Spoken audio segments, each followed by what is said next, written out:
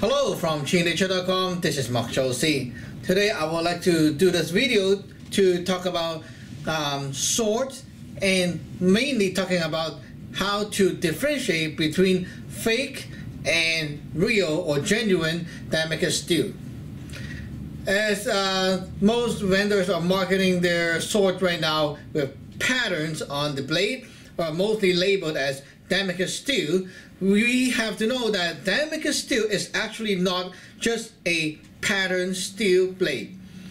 Damascus steel blade is actually like there is a uh, really, really Damascus kind of Damascus, and it's supposed to be not like the usual pattern you see, and uh, it's closer to what we call wootz right now, and uh, those kind of steel are really called Damascus steel. But you know, everyone get used to the norm and the trendy stuff, so everybody now refers pattern steel to Damascus steel. So we'll use that word anyway. So since everyone knows it, so. Uh, when you buy a sword from eBay, Amazon, or whatever vendor, okay, um, you expect the word Damascus steel to be uh, blade with folded steel patterns. And usually you get the blade, you look at it, and you're like, hmm, and then your friend goes, that's fake. now that's a problem. How can you tell if a Damascus steel blade is fake or real? It's very easy. Let me show you. This here is uh, the Thunder God katana. It's a it's not a very expensive katana. It's a cheap one. Uh, it's about 100 bucks to uh, 150 something like that.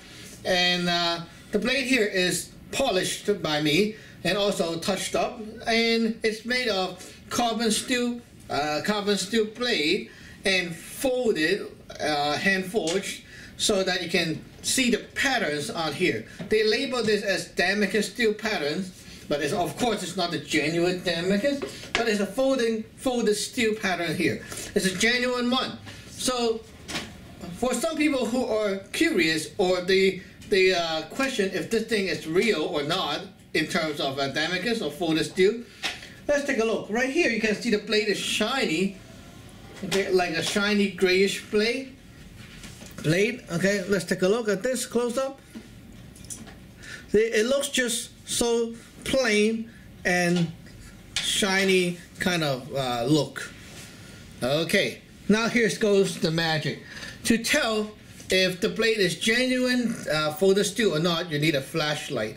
A flashlight that can uh, put on low mode like this, low mode. You see, we have high mode, higher mode, low mode. See? Okay, you need some low power flashlight that gives a good floody light. And here we go. You put the blade here and then you put the light over it and then you go on an angle like that and there you go. You can see the pattern. Let me try this. Okay secure the blade to my body and there we go. Ta-da. Okay where's the light? There we go. Uh, okay just trying to get the best angle for you guys. Okay here we go. Woo. Uh, light come on. Okay here you go. You see all that pattern even in the uh, shinier area, you can still see the pattern, you see? Okay, that is genuine Damascus steel, I mean folded steel. And you can still see it in the shinier uh, part where the bohi is. And uh, yeah, you see? As you scroll along, you can see the, the pattern all the way. Okay, this is genuine. Even the this back edge, you can still see it. And the other side, of course. Ooh, be careful. This is sharp. Okay, you see? The other side, you can still see the pattern. And it looks nice, right? Okay, when the light is off, you can see everything returns back to normal. Looks like a shiny blade if you got a plate like this, okay, when this plate first come to me, it's a very dull looking plate. It's grayish in color, it looks like shit, and it doesn't really um, give you some appealing uh, feeling. Okay, so um, what I did was I took some sandpaper, um, uh, start from 200 uh, grits and then you start all the way, like go all the way up to uh, like 200, 260, 280, 300, 400, 600, 800, 1000, 2000. And then when you reach to like 3000, keep polishing the blade, okay? Reach to 3000, the blade will be like this. Very shiny, shiny looking, reflective. And yeah, it looks nice. For katanas, this spot here is the cross uh, sanding section. You need to uh, neither use a file or you use a rougher sandpaper to sand in a different direction with a tool and uh, to make that effect. But otherwise, everything is pretty shiny right now. And you cannot see the pattern anymore. For real or genuine um, pattern steel, when you sand it, even though it looks so plain and silverish looking, uh, you cannot see it by bare eyes looking at it. But when you shine a flashlight, the pattern will reveals again. That tells you that this is genuine uh, stuff. Okay, so let's move on to the next one. Uh, one more cheap blade here. This is very cheap. It's about um, about 50 bucks for a Tanto. This thing here, you can see the pattern right away. I didn't sand it, but you can see the pattern right away. See? Up close. Yeah. You can see the pattern right away. You see? It's very obvious, right? Yeah. So when you put a flashlight over it, the pattern becomes even more visible. You see how visible that is? Okay. Just a second. Okay, let me try to get that down. Okay, there we go. You see how visible that is? Okay, if you put this thing to a uh, sandpaper challenge and sandpaper it down to scrub off all these patterns first and then see if it shows again, I doubt it will show up. Okay, but this kind of pattern is more like what we call the uh, fake patterns. It's so obvious and uh, it looks like that the patterns are popping up. Okay, it doesn't doesn't really look like the pattern that we see there. It looks more like a pattern that pops up and the, the underneath, the steel underneath is uh, shiny. So these patterns are usually uh, done by using a, a, piece of mold or something like that and then they use that to duplicate patterns on the piece of steel and gives you the pattern. So it's more like a add-on uh, decorative features. And if you use sandpaper to sand it all down, it will be gone and you cannot see it again. So, yeah, well, there's some, like these fake pattern doesn't mean it's a, it's a bad sword though. Um, it just means that the steel they use is a mono steel with some pattern decorations on top. The patterns doesn't mean that the blade is better. The pattern only means it's a pattern. And for the uh, steel below that, uh, it's good enough if it's mono steel, meaning that it's carbon steel. It's good enough for a sword like that, and you can still cut, you can still stab things. It's fine.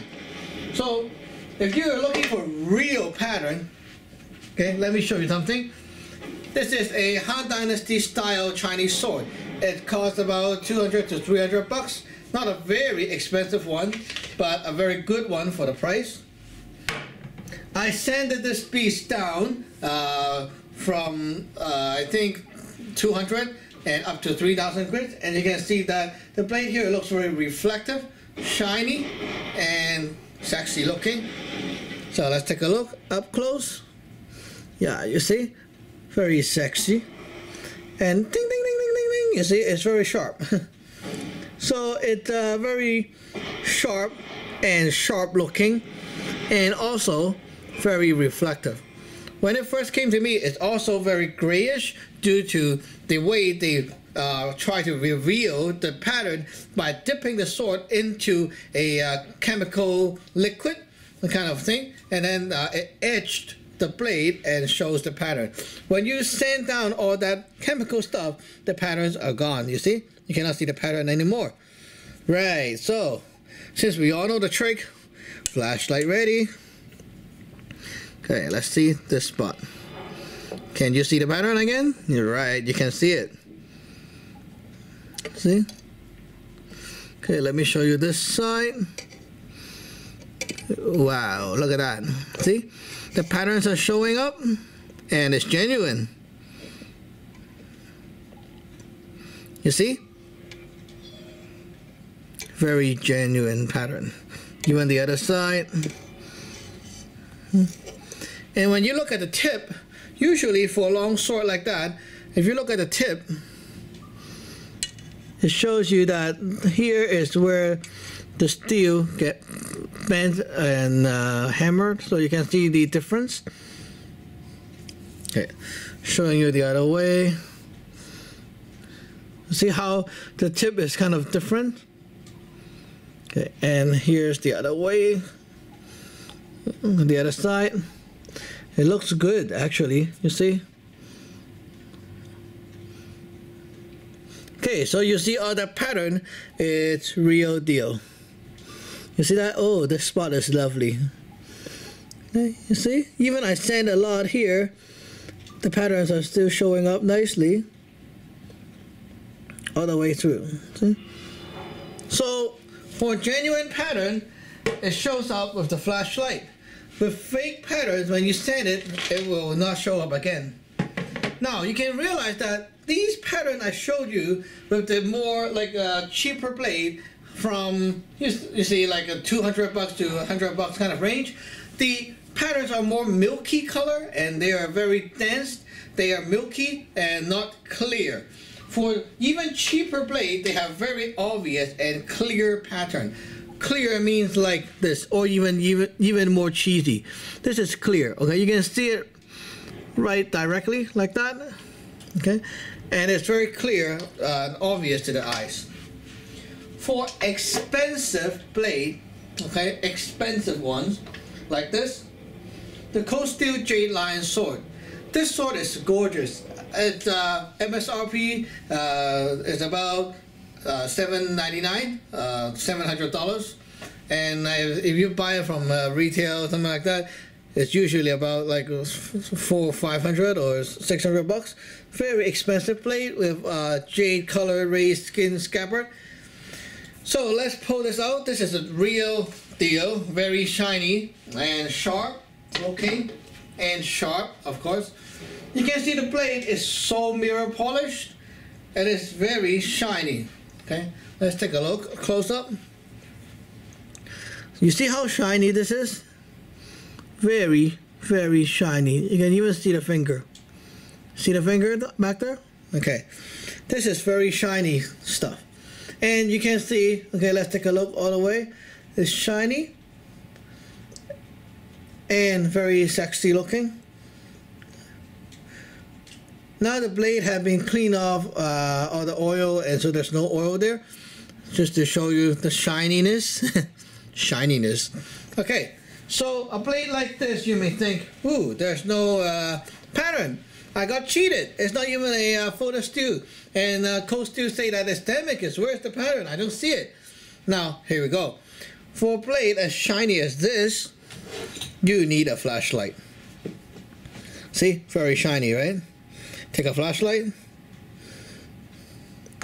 Can't you see the pattern? Woo! There we go. Good stuff is always like this the good stuff is always like this. They only show up when you know how to see it. Ooh, sounds like Lord of the Ring.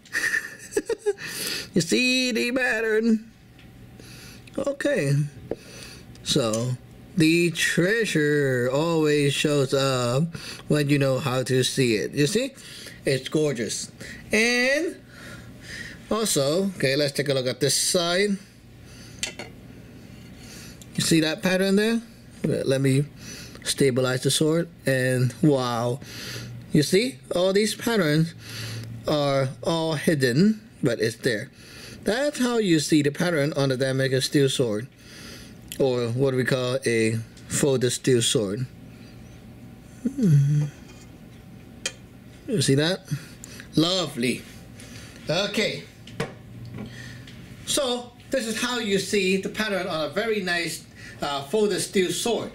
It's very, very shiny and very silver, silverish, uh, reflective looking, like a mirror. You can even see a teeth in, in the blade. And uh, yeah, it's a real one, so you can see the pattern by using a flashlight.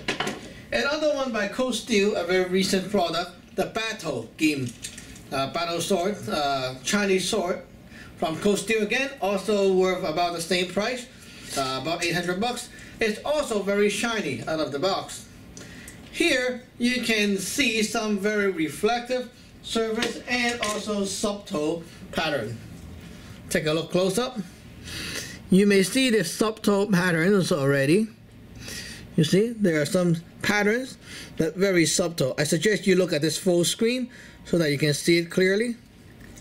At the other side. Okay.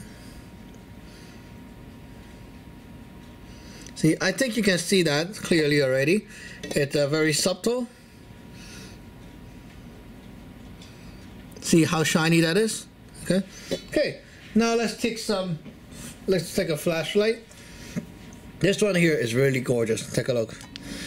You see the pattern? Wow. Dang, this is gorgeous. Look at that. Okay. This is what you call folded steel.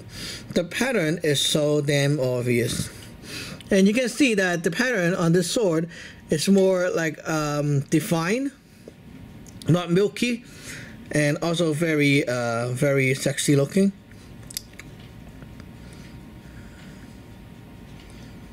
Okay.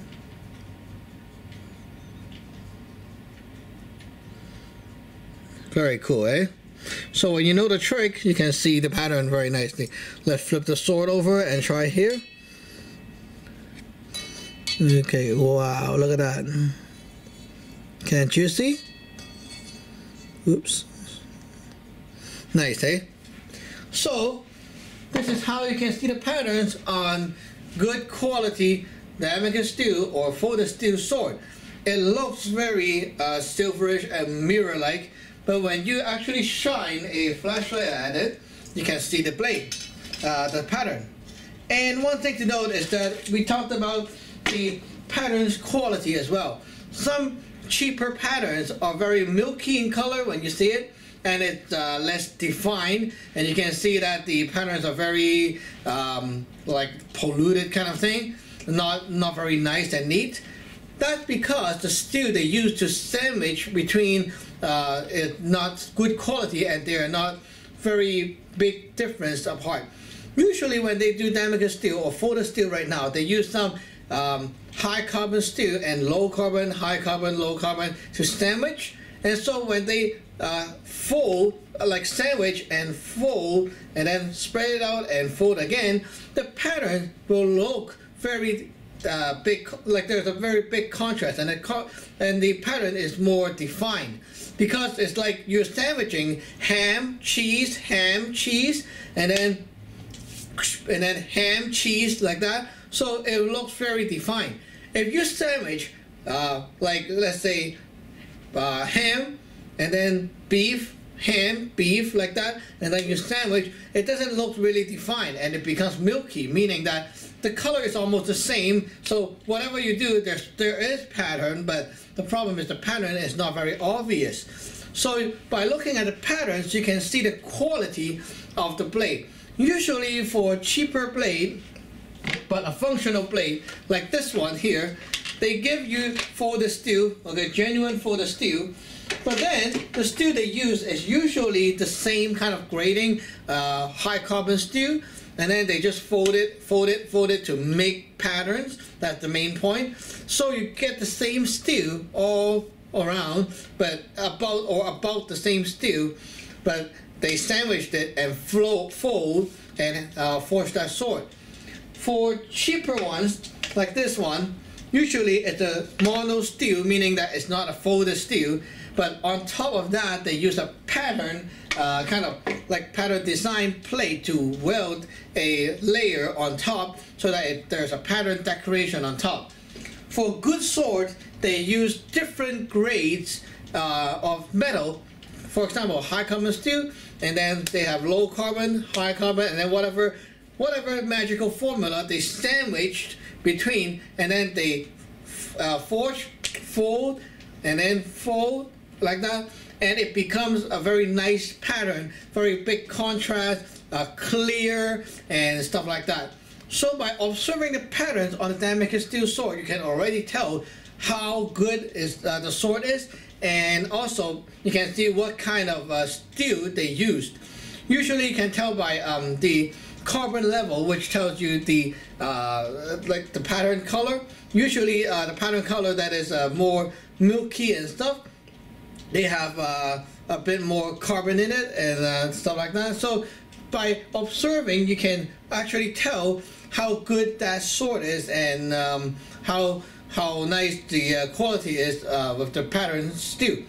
So that's one good thing about pattern uh, steel sword because with the folded steel you can actually tell the quality. Whereas with a mono steel sword without pattern, it's hard to tell because uh, you look at it and it's always like a mirror. You cannot tell what kind of steel it is all the time. So yeah, that's one good thing, but also a bad thing because it's hard to encounter a genuine and also good quality uh, folded steel sword.